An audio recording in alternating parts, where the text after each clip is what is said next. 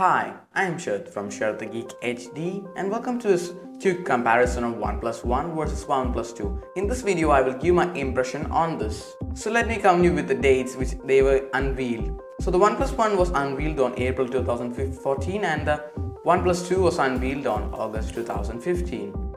So what's the EMA difference? Let's check it out. So let me come to you with the OnePlus One. So the OnePlus One has a Qualcomm Snapdragon 801 processor. It's mainly or not outdated actually, but it's Qualcomm Snapdragon 801 is also a very good. But the OnePlus 2 clearly wins this because it has a Qualcomm Snapdragon 810 processor.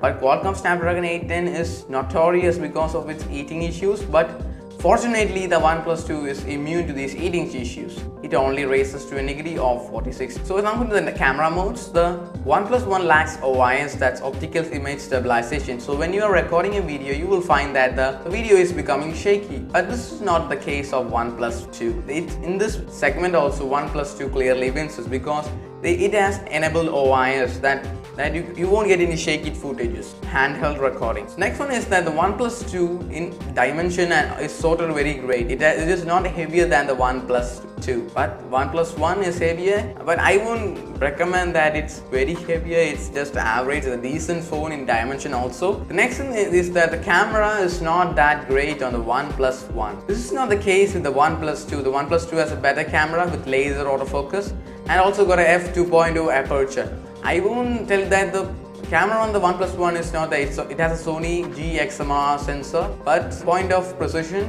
the OnePlus 2 will clearly wins because of its advanced techniques of OIS and other things like that. Also, its aperture is greater than those than the f1.1 1.9 used in the OnePlus One, but the OnePlus 2 is powered by one f2.0 aperture for great low light photography. Now come to the software. The OnePlus One is powered by a CyanogenMod 11. That's a pre-installed software when you buy this. And further, they included an update known as CyanogenMod 12. In this, they upgraded the OS version to 5.1.2. But the main thing that I don't like about Cyanogen is that it's, it has a, it's a buggy software.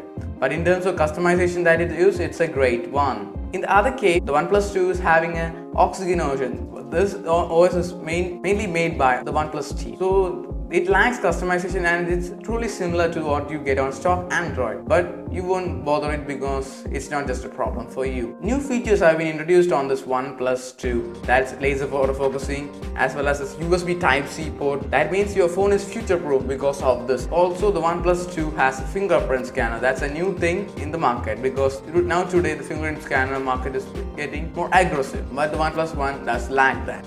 So the next thing that differentiates is that it the OnePlus One has a Corning Gorilla Glass 3 protection, whereas the OnePlus 2 has a Corning Gorilla Glass 4 protection. None of them are different, but Corning claims that Corning Gorilla Glass 4 has more protection.